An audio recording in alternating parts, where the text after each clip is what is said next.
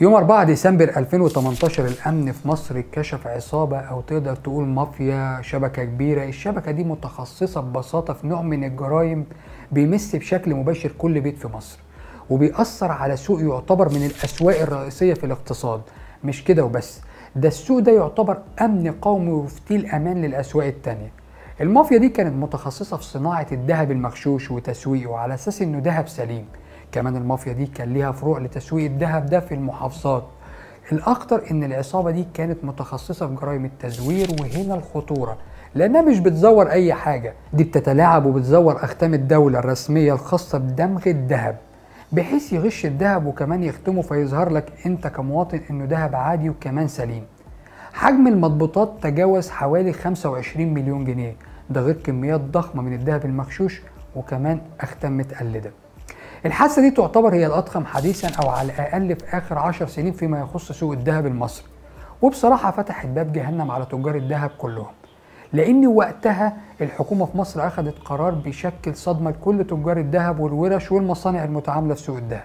مش كده وبس ده كمان هيكون أثر القرار ده أصعب على المواطن اللي بيتعامل في سوق الذهب في مصر. لكن القرار في حد ذاته أكتر تنظيمي للسوق الأهم في مصر وبدأت مصلحة الدمغه والموازين في مصر بتجهيز النظام الجديد اللي ببساطة هو تغيير نظام الختم والمعايرة التقليدي للذهب بحاجة اسمها الباركود. إيه بقى قصة الباركود ده؟ وبيشتغل إزاي؟ ومين هي مصلحة الدمغة والموازين اللي قاعدة تلعب وتعاير في الذهب دي؟ وهو الدمغ القديم عيوبه إيه وعشان نغيره؟ السؤال الأهم مصير الذهب القديم المدموغ عادي بتاعنا إيه؟ طب مصير الذهب اللي بنشتريه من بره مصر وإحنا جايين إيه؟ الأهم بقى الدمغة القديمة دي هتأثر على السعر لو جينا بيع الذهب القديم بتاعنا مثلا. كل ده وأكتر هنحكي فيه مع بعض النهارده بس في الأول حضر خمسة الشاي بتاعتك ويلا بينا. أنا محمد أبو عاصي ودي خمسة اقتصاد.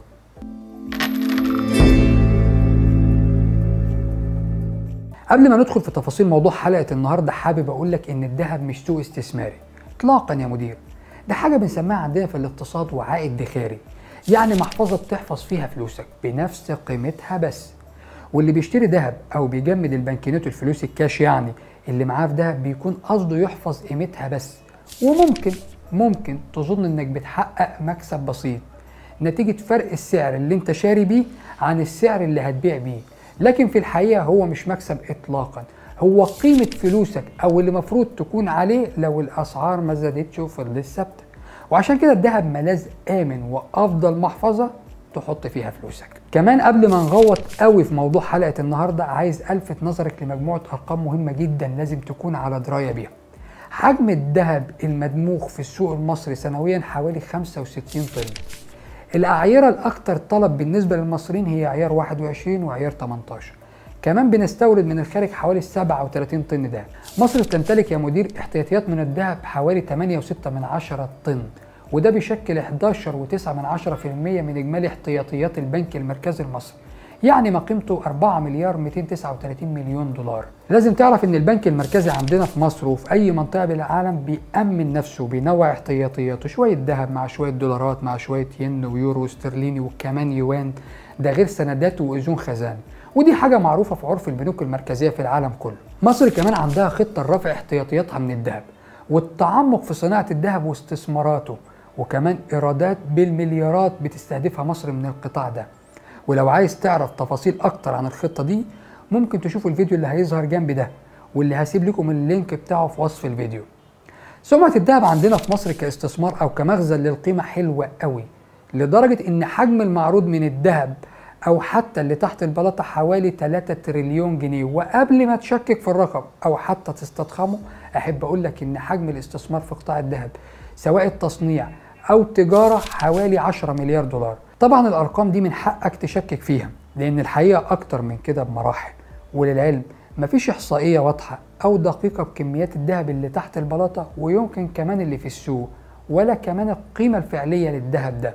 يعني لو حبينا في يوم من الأيام مثلا نفرض ضريبة على الذهب ده مش هنعرف لأن بصراحة ما عندناش قاعدة بيانات واضحة بتقول الناس في إيديها كام ولا بتمتلك كام. عايز أقول لك كمان يا مدير إن الذهب هو أسهل طريقة لغسيل الأموال. لأن ببساطة وأنت رايح تشتري ذهب محدش بيقول لك أصل الفلوس دي منين بس قريب قوي. هيتقال لك أصلها وفصلها منين. إزاي بقى؟ أنا هقول لك.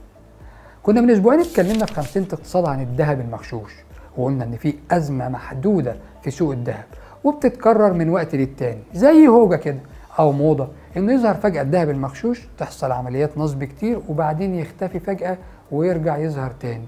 وده ببساطة بيسبب خسائر كبيرة ممكن توصل للملايين للشركات وكمان المحلات وبالتبعية العميل أو المشتري. طبعا مع تطور التكنولوجي الدولة ممثلة في مصلحة الدمغة والموازين عملت حاجة تظبط بيها سوق الذهب ده اسمها الباركود. شوف يا سيدي في البداية لازم تعرف إن مصلحة الدمغة والموازين دي هي هيئة تابعة لوزارة التموين والتجارة الداخلية عندنا هنا في مصر. لها وظائف كتير اللي يهمنا هنا هو إنها بتقوم بفحص وتحليل ودمغ وكمان مراقبة المشغولات الذهبية والفضية والبلاتينية اللي بيتم تداولها في سوق المعادن الثمينة عندنا هنا في مصر. وده طبعا منعا للغش والتلاعب. حتة كده على الماشي لازم تعرفها القانون اللي بينظم عمل الهيئة دي من أقدم القوانين في مصر. لا مش في مصر وبس ده في منطقة الشرق الأوسط كلها. وده لأن مصر من قديم الأزل بتتعامل في سوق الذهب. حتى أول قانون بتنظيم صناعة المصوغات الذهبية في مصر صدر في يوليو سنة 1847 وده تضمن تحديد عيارات الذهب والفضة وكان تطبيقه اختياري. وفي سنة 1916 صدر قانون رقم 19 وأصبح بموجبه دمج المصوغات الذهبية إجباري. وفي سنة 1936 اتضمت إدارة الموازين لإدارة المصوغات واتسمت مصلحة دمج المصوغات والموازين. طب إيه بقى قصة الباركود ده؟ في الفترة الأخيرة هتلاقي تصريحات كتير من تجار الصاغة بتقول إن نسبة الذهب المغشوش لا تتجاوز 1% ولما وقعوا في بعض قالوا إنها من 5 ل 10% لكن النسبة الحقيقية بحسب وزارة التموين والتجارة الداخلية حوالي 8% يعني 8% من الذهب اللي في السوق مغشوش. ده غير إن في حاجة اسمها مسابك بير السلم. اللي بتعمل ذهب مغشوش يكون نسبة النحاس فيه عالي والذهب قليل. وكمان يحطوا دمغات الشركات والورش عليه. وطبعا بيبيع لحضرتك وحضرتك تتغش وما تكتشفش ده إلا لما تروح الصاغة المعروفة وعشان تبيع أو تغير. اللي زاد وكفى إن فيه ورش ومحلات بدأت تلعب اللعبة دي على بسيط. ودي معلومات أمنية على فكرة. ده خلى الدولة تعمل نظام الباركود. الباركود أو نظام التكويد للمشغولات الذهبية بالليزر هو إن كل مشغول ذهبي قبل خروجه من المصلحه وطرحه بالسوق هيكون ليه رقم كودي والرقم ده هيكون مسجل فيه عيار المشغول وبيانات المصنع وامتى تمت عمليه الدمغ هيكون شبه الشرط اللي بنشوفها على أكياس الحاجات اللي بنشتريها. وده بمجرد ما هتحطه قدام مسدس الليزر بيطلع لك على شاشة المسدس الذهب ده مصنوع إمتى وتبع شركة إيه ووزنه كام ونسبة النحاس والذهب فيه كام ومين التاجر ورخصته والسجل التجاري وبطاقته الضريبية وكمان اسم الزبون المشتري. لأنك أول ما هتشتري التاجر هيديك فاتورة وهيسجل اسمك على النظام الإلكتروني في الكمبيوتر عنده وده هيسمع في مصلحة الدمغه والموازين يعني متراقبين يا عمنا محدش يخسر فلوسه في الذهب. طيب لما يقوم المواطن بإعادة بيع الذهب لأي تاجر التاجر هنا أو الصايغ هيقوم بتسجيل عملية البيع. ودي خطوة مهمة لأسباب كتيرة. اولا هتقلل عملية سرقة الذهب لأن مفيش أي مواطن يقدر يبيع حتة ذهب من غير ما تكون متسجلة باسمه على النظام الإلكتروني ده. كمان موضوع غسيل الأموال عن طريق الذهب هيقل لحد ما هيختفي خالص.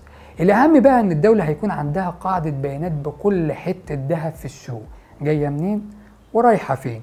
وحجم الذهب اللي في إيد الناس قد إيه؟ حد يسألني بقى ليه الدربكة دي هو الدمغة القديمة وحشة ولا أثرت في حاجة؟ شوف يا سيدي الدمغة القديمة كان بيتم دمغها بقلم بيطبع به الدمغة على المشغول الذهبي.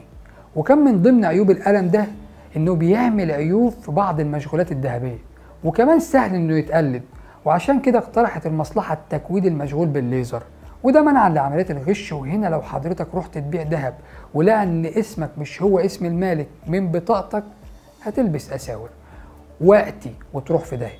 وطبعا لما بتتسرق بتروح تبلغ الشرطة وتاخد المحضر وتطلع على مصلحة الدمغة والمزين توقف التعامل على الذهب ده. وبالتالي هتسمع في ال system عند محلات الذهب. طبعا النظام الجديد ده يخلي مصلحة الدمغه والموازين تقدر تكشف في أي وقت على المشغولات الذهبية وكمية المشغولات الذهبية اللي موجودة عند المحلات وفي الصاغه وتعرف كل بياناتها. وتعرف كمان إنه تم الدمغ بالمصلحة ولا لأ. ما هو كله مربوط ب system حضرتك ومتسطب على جهاز كمبيوتر في الصاغه وفي المصلحة. طب بالنسبة للذهب اللي هنشتريه من بره مصر وضعه إيه؟ لا دي محلولة يا مدير. في مكتب لمصلحة الدمغة والموازين بالجمارك هتدمجه ليك بناء على الفاتورة اللي معاك اللي انت شاري بيها من بره. وللعلم من الآخر كده سعره هيقل شوية لما تيجي تبيعه في مصر لأنه مجهول الأصل أو المصدر. المصلحة عندها فنيين في جميع المنافذ الجوية والبحرية والبرية للكشف على كل الأدوات اللي بتتعلق بالقياس والوزن والمعايرة والكيلو ومدى مطابقتها للمواصفات القياسية المصرية. كمان هيكون في رقابة على بتوع الصاغة. وعشان نتخذ كل الإجراءات القانونية ضدهم لو كانوا مخالفين. حد يسألني ويقول لي يا عاصي وضع ذهبنا القديم إيه؟ ولا حاجة. هتتعامل بالفاتورة لحد ما يحصل عملية إحلال وتجديد. لكل المصوغات القديمة اللي في السوق. يعني لو هتبيع حاجة قديمة تقدم فاتورتها تدخل محل الصاغه تروح مع الحاجات اللي هتتسيح وترجع بالشكل الجديد. وده مش هيأثر على السعر في حاجة في الأول بس بعدين هيأثر لأنه هيصنف على إنه ذهب قديم مغشوش أو متلاعب فيه. إمتى بقى هنطبق النظام الجديد ده وتكلفته كام؟ نظام التكويد هيتعمم على جميع المشغولات الذهبية مع بداية السنة الجديدة إن شاء الله. وطبعا الدولة حاليا بتحدث أجهزة المعايرة وبتستغنى عن الأجهزة القديمة تماما. وكل تاجر هيروح يستلم جهاز بمبلغ لسه ما تحددش الصراحة أو ما تمش الإعلان عنه. بس تكلفة المشروع كله حوالي 100 مليون جنيه بشكل مبدئي. لحد هنا أنا كلامي خلص لكن الكلام عن الذهب ودمغة الذهب والباركود الجديد لسه مكمل معانا. وأتمنى تكون استفدت من الحلقة الخدمية دي. في النهاية يهمني متابعتكم على قناة 50 اقتصاد على الفيسبوك واليوتيوب بنفس العنوان. ولو عجبك الفيديو ما تنساش تعمل like و share لو بتشوفنا على الفيسبوك أو subscribe لو بتشوفنا على اليوتيوب. وما تنساش تشوف المصادر اللي هتلاقيها في وصف الفيديو. شكرا ليكم. سلام عليكم.